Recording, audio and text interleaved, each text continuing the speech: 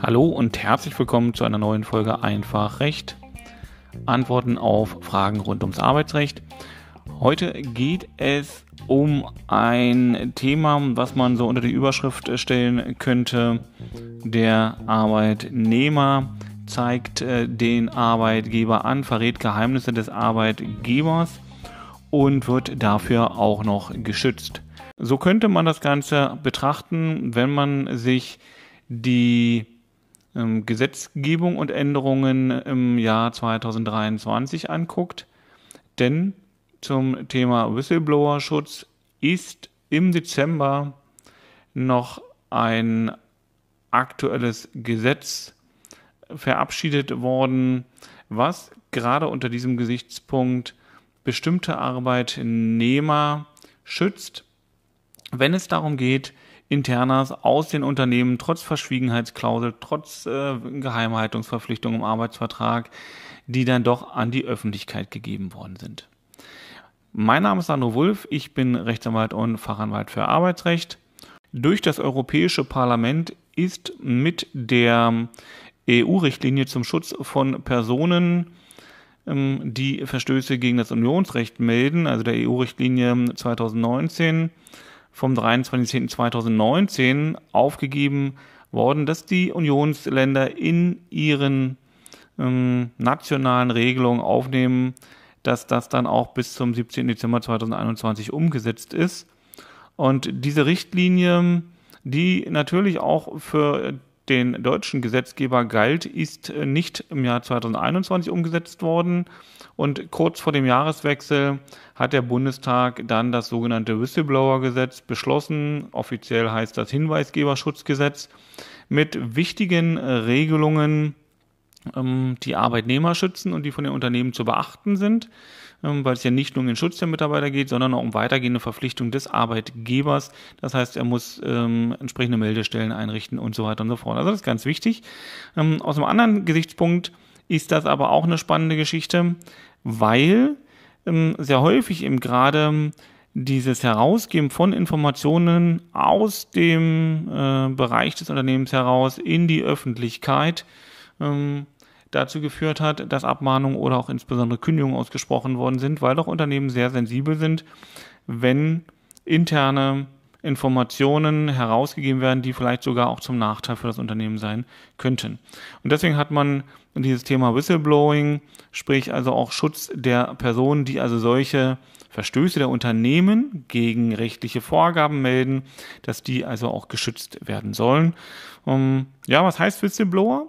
Ein Whistleblower, so zumindest im deutschen Sprachraum, ähm, bezeichnet als Hinweisgeber, als Enthüller oder als auch Aufdecker.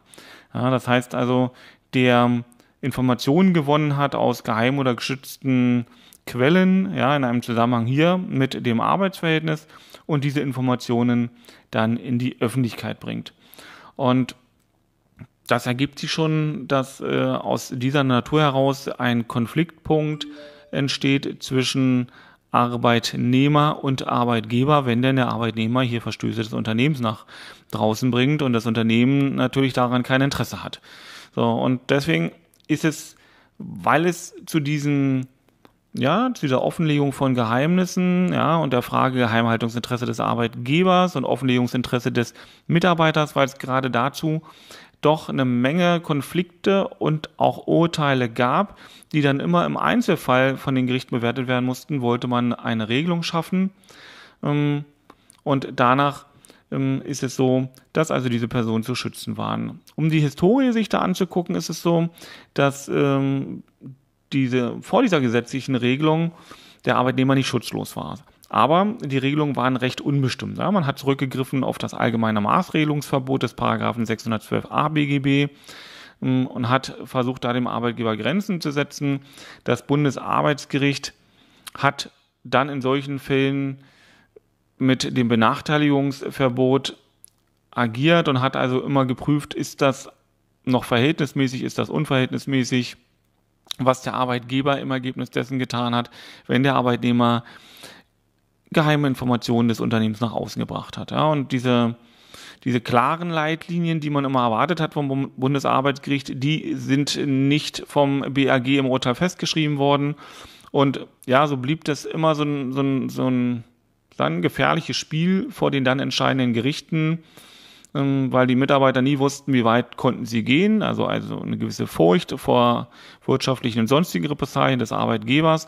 Und Arbeitgeber wiederum aber auch nicht wussten, wie viel müssen sie dulden, was ist zulässig ähm, und was ist dann unzulässig, also was ähm, ist im Rahmen der Abwägung zwischen Geheimhaltungsinteresse des Arbeitgebers und dem vielleicht berechtigten Interesse des Arbeitnehmers, was ist da schützenswerter. Und diese Unsicherheiten und dieses, ähm, diese Unklarheiten, das war etwas, was dann doch die Gerichte beschäftigt hat, was in der Praxis, auch in der Beratung nicht ganz so einfach war, weil eine allgemeine Regelung vorzugeben und auch ähm, im Rahmen von Vorgaben und Richtlinien sogenannte Leitplanken in die Unternehmen einzuziehen, ähm, ja, so ganz recht sicher war das nicht machbar. Ja, man hat zwar versucht, den Rahmen so rechtssicher wie möglich zu ziehen, aber auf beiden Seiten blieben da doch erhebliche Zweifel, wann wer im Recht ist.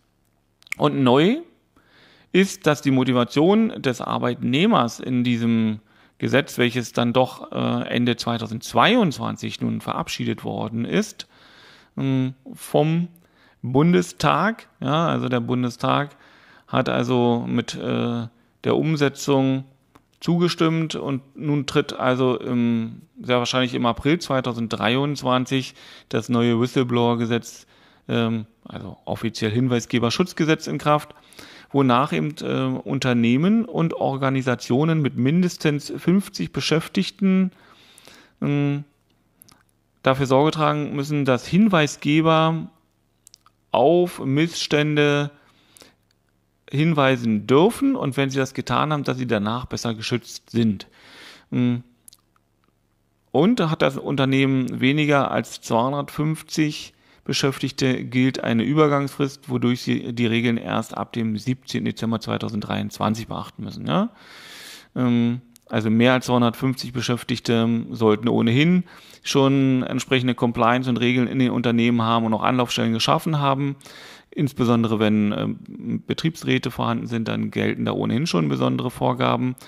Aber auch bei Unternehmen, ähm, die mindestens 50 Beschäftigte haben, die müssen also wirklich schauen, dass sie dann das relativ schnell umsetzen. So, zu den Pflichten infolge des Whistleblower-Gesetzes gehört das Einrichten einer internen Meldestelle. Ähm, also nicht nur der Staat muss eine externe Meldestelle schaffen, wo sich die Beschäftigten dann staatlicherseits hinwenden dürfen und können, sondern auch das Unternehmen muss in den besagten Fällen eine interne Meldestelle schaffen. Ja. Ähm, Meldungen zu Missständen müssen Hinweisgeber dort anonym und auf verschiedene Weise äh, einreichen können. Und hier ist der Punkt E-Mail, ähm, ja, äh, persönlich, telefonisch, da darf man dann sich das mal genauer angucken, wie man das dann regeln möchte, weil es müssen diese, diese Hinweisgeber müssen auch Rückmeldungen erhalten, nämlich nach sieben Tagen müssen die eine Eingangsbestätigung bekommen und nach drei Monaten ähm, muss, äh, müssen sie eine Mitteilung erhalten, was aufgrund ihrer Meldung eigentlich passiert ist, wie ist da das Unternehmen vorgegangen. Ähm, und zugleich, und das ist in dieser gesetzlichen Regelung auch festgeschrieben, ähm, ist es so, dass der Hinweisgeber eben vor Nachteilen geschützt werden soll. Das heißt, dieser, dieser Schutz vor Nachteilen hat sich in der Form im Gesetz festgeschrieben, dass man eine beweist aufgenommen hat. Wird einem Mitarbeiter zum Beispiel gekündigt, muss der Arbeitgeber deshalb beweisen, dass dies ohne Zusammenhang mit diesem Hinweis erfolgte. Also Whistleblower erhalten ähm, da einen besonderen Schutz, hier ist es also so, früher musste der Arbeitnehmer doch mehr darlegen. Jetzt ist es so, dass der Arbeitgeber darlegen muss, dass die Kündigung damit nichts zu tun hat. Ne? Früher musste der Arbeitnehmer nachweisen, ja, pass mal auf, ich bin ja nur gekündigt worden, weil ich diesen Tipp, weil ich diesen, äh, diesen, diese Meldung gemacht habe. Ähm, und das ist dem Arbeitnehmer doch sehr schwer ähm, gelungen. Und jetzt ist es so, dass man gesagt hat, gerade weil es dem Arbeitnehmer so schwer gelungen ist, muss der Arbeitgeber das nachweisen, dass eben eine solche Kündigung, zum, dass die nichts damit zu tun hat, dass da also ein solcher Hinweis gegeben worden ist. Und zweitens ist es so auch, dass der Whistleblower äh, zu dem und nebenher einen Anspruch auf Schadenersatz und Schmerzensgeld hat, wenn der Arbeitgeber hier mit arbeitsrechtlichen Sanktionen agiert hat. Ähm, jetzt stellt sich die Frage, naja, okay, aber wie ist das denn eigentlich, wenn der Arbeitnehmer einen, einen realen, wirklichen, nachweisbaren äh, Missstand gemeldet hat? Und dann ist er, ist er geschützt an dieser Stelle und dann darf er deswegen und nur deswegen nicht gekündigt werden. Wenn es andere Verpflichtungen gibt, die verletzt worden sind, dann bleibt es bei den allgemeinen Grundsätzen, die wir im Kündigungsschutzgesetz zum Beispiel haben oder eben auch im Kündigungsrecht. Ähm, fraglich ist es aber, wenn der Arbeitnehmer gutgläubig, ja, hat eine Information erhalten von einem Dritten und ist darüber aufgewacht und hat gesagt, Mensch, das können wir doch, das muss doch die Öffentlichkeit wissen, das kann man doch nicht so lassen, wir müssen noch den oder die schützen und meldet das Ganze nun. Aufgrund dieser Meldung ähm, ist es so, dass das Unternehmen in die Presse gerät oder dass andere Maßnahmen eingeleitet werden. Und dann stellt sich heraus, dass diese Meldung falsch war dass es eine Falschmeldung war und damit das Unternehmen erheblichen Schaden erlitten hat. Ähm, dann ist es umgekehrt auch immer so gewesen, dass das Unternehmen auch einen Schadenersatzanspruch gegenüber dem Mitarbeiter hatte, wenn der solche Informationen nach außen gebracht hat und die waren nicht wahr. Ähm, und auch da ist es so, dass dieses Gesetz nunmehr sagt, dass Hinweisgeber auch dann geschützt sind, wenn diese Meldung, die sie abgegeben hat, gutgläubig erfolgte. Wenn sie also davon überzeugt waren, dass das, was sie dort mitgeteilt haben, der Wahrheit entspricht.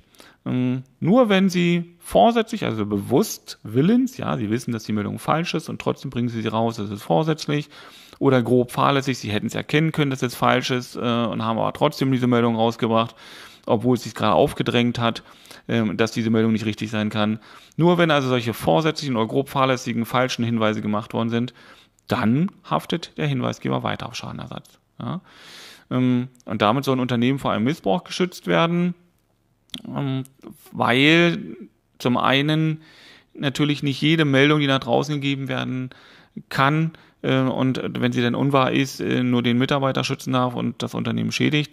Äh, aber zum anderen ist es so, wenn der Mitarbeiter gutgläubig war, ja, dann soll er letztendlich nicht mit einem Schadenersatzanspruch überzogen werden. In der Praxis wird hier spannend werden, ähm, wie man diesen Beweis erbringen will, dass das nicht gutgläubig war. Denn auch hier ist die Darlegungslast dann beim Arbeitgeber, wenn der sagt, pass mal auf, diese Meldung, die der Mitarbeiter abgegeben hat, die war falsch, ja, und ähm, dann sagt der Mitarbeiter, ja, aber ich war doch gutgläubig und beschreibt wieso, weshalb und warum. Und wie widerlegt der Arbeitgeber jetzt diese Gutgläubigkeit? Ist ja eine subjektive eine Komponente, etwas, was sich am Kopf des Mitarbeiters abgespielt hat. Und jetzt muss er reingehen und gucken und sagen, ja, pass mal auf, hier sind Tatsachen anhand derer, du hättest das wissen müssen, das hätte sich bei dir aufdrängen müssen.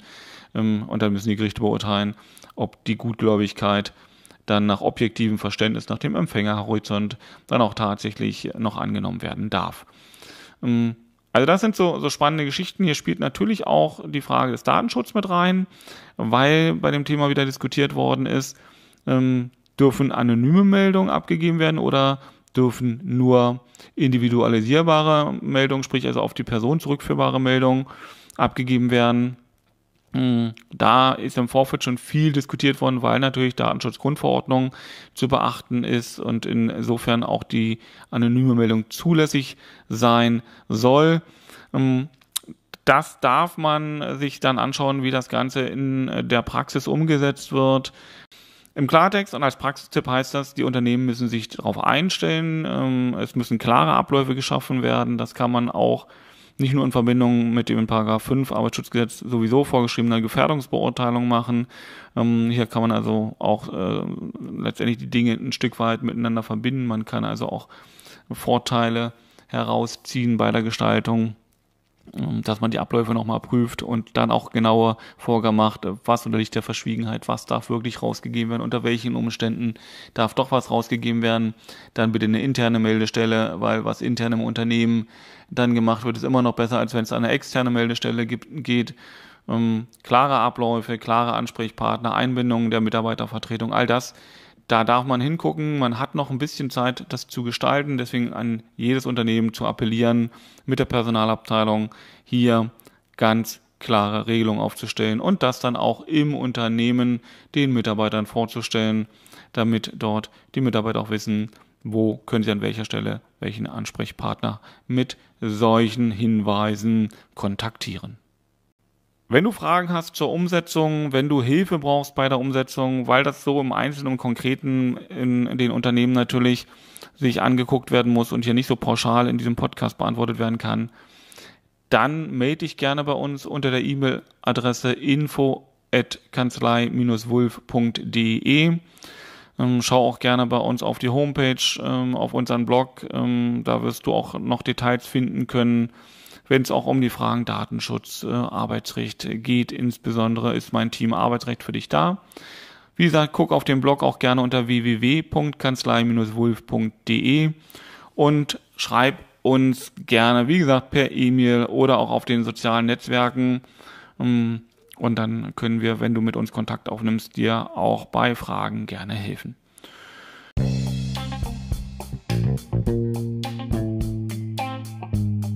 Das war's für die heutige Folge, die zweite Folge im Jahr 2023. Und ich freue mich, wenn du zugleich diese Folge bewertest, wenn du sie abonnierst, beziehungsweise auch hier äh, auf der Podcast-Plattform, wo du das Ganze hörst, dann äh, für dich kennzeichnest, dass du dann auch nächste Woche dabei bist, wenn ich die Folge wieder ins Netz bringe und es dann wieder heißt, herzlich willkommen zu Einfach Recht, Antworten auf Fragen rund ums Arbeitsrecht. Bis dahin, dein Sandro Wulf, Rechtsanwalt und Fachanwalt für Arbeitsrecht.